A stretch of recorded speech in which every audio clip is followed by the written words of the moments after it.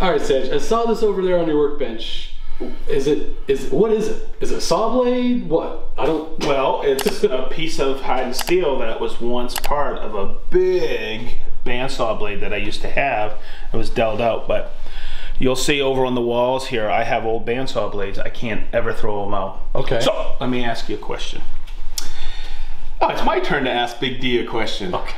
On October 22nd of 2020, we produced our first video. Remember what it was? Cabinet scraper. This is a cabinet scraper. What? Yeah, I'm going to show you. Um, if we look down here, you're going to see cabinet scrapers. We that's the that's the cabinet scraper we uh, put a burr on. Mm-hmm. Okay. I, for simplicity, okay, um, this here is hardened steel. Okay, so it'll hold a burr, and if you feel right here, I have a burr on there. Sc- ca- cabinet scrapers, we have them for different radiuses. Um, these are carbide scrapers. I love both of these. I love this one for getting inside corners. This one here is how I scrape down staircases. I've used, had this for years. These are replaceable. But there's so many things in your shop. Like I know uh, a friend of mine, I was just talking to him down in Austin, his dad taught him his cabinet scraper or how to scrape finishes with a piece of glass. So I want to keep it simple with you and show you how there's certain things in the shop you can make if it's hardened steel, how to make a scraper.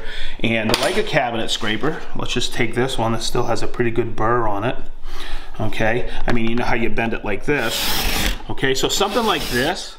Okay, this one, yes, I have plenty of these. Okay, but with a scraper like this, I use this to scrape glue. But you can see, like here's my burr on here. Oh, by the way, I'll show you. Make sure you file these down, okay? But I always have the scraper, and it scrapes just as effectively like that. And I'll show you how to make this a cabinet scraper.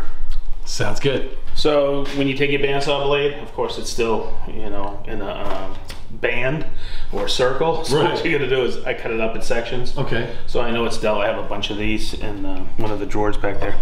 I know it's dull, but one of the things for safety is what I like to do is take a metal file and go across like this just to dull it some more. And then I'll take it like this and I'll take some of the set out of there. It doesn't matter. It's not going to be our cutting edge. I'll let you do that a little, Big D. Okay. There we go.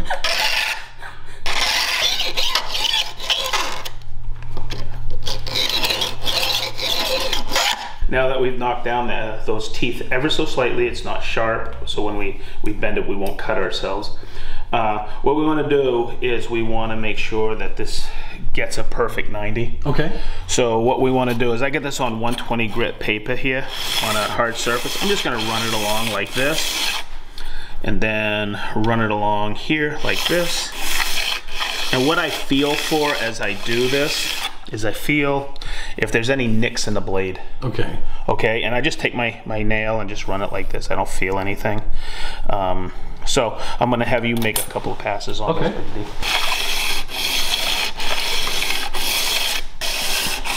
And sometimes what I'll do is I'll do that and I'll switch my pressure so I'm making sure I get the whole blade.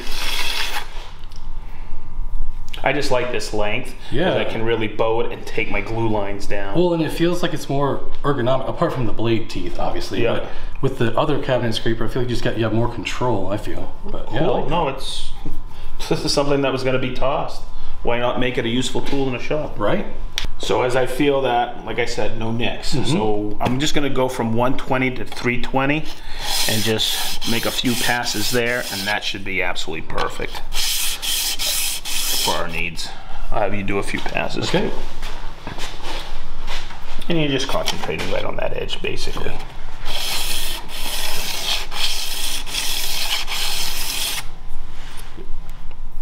Wow, big difference already. Yep.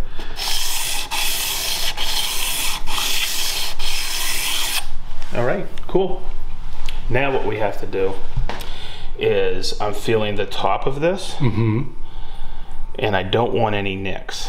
So what I'll do is I'll take this and put it just like this, but I want to keep it at a perfect 90. Okay. So what I'll do is get a, a 90 degree block. Okay. Okay, so we need to do this edge right here. Yep. We did this edge, we did this edge.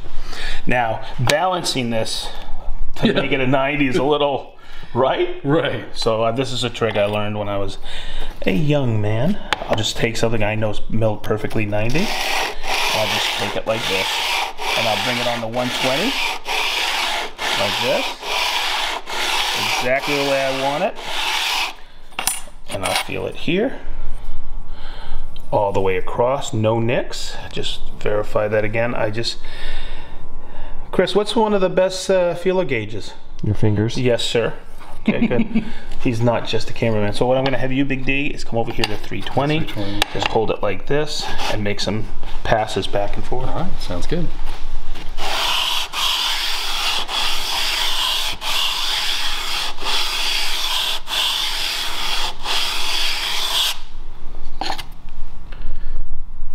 Try your fingernail on that. There you go. Good. Yeah. Okay, perfect. Now fix my hair in it. hey Bo. Now we gotta. Now we gotta uh, put a burr on it. Let's do it. Okay, so like in that first video we did a couple years ago, it's cabinet scraper 101. We got to take this piece of steel, we got to pull the steel out, then we're going to take it with this burnisher, we're going to take it and push it out. And then we're going to put it at an angle. We'll do that in the vise. But first, what you got to do is you got to pull the steel. So I'm just going to get in here, Big D, and I'll have you do the other side. And I just do it like this. It's very subtle. When what you're doing is you're taking that 90 degree and you're pushing the steel out. This is the one thing I used to not do. And I'll go back like this and pull it, make sure it's on a, a good surface like this. And I'll do, I'm, I always count five swipes, Okay. okay? And I'll have you do this side. Five swipes. Yeah, it's just it's just a, a method that I've just learned over the years. Yep, you got it. Is two. That would be three. And that would be four. That would be five. All right. Okay, now what we're gonna do is we're gonna take it, we're gonna vise it. And I like to put it up here, about that high. Okay, and we're gonna take it, because I do that because now I'm gonna be using my hands. And I'm gonna go one, two. And I put some adequate pressure. Three, four, five. Okay, can't feel anything. But now what we're gonna do is I'm gonna bring it up ever so slightly, and I'm gonna do one side, I'll have you do the other side. Okay. Okay, so then I'm gonna take it, and you see now I'm gonna create, I'm gonna, what I've done is I've created a burr, so the steel is out here. Now I want to take my burnisher, and this is solid carbide, and I'm gonna take it and just this angle. I don't even know what angle that is, but I'm gonna take it like this. Is one, two, three, four, five. Oh man, I can feel that burr. It's very slight. I'm gonna turn around. I'm gonna have you do it, Big D. Okay. Go ahead. Okay. Yep, perfect. You're a pro at this already. Had a good teacher. Uh, whatever. So Big D, man, you did it. now you have a new cabinet scraper. Uh, let's put it to the test. Let's do it. Okay. So I'm just gonna. I'll make a couple swipes, and I'll have you make a couple swipes. Wow, look at that, huh? Perfect tool to clean up some glue line. I'm gonna give. Oh, look at that. Actually, that's cutting really good. Okay, you go for it.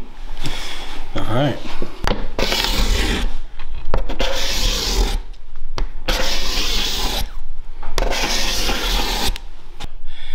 Not bad, huh? Basically No. a free cabinet scraper. So, as we always say, Be and stay sharp.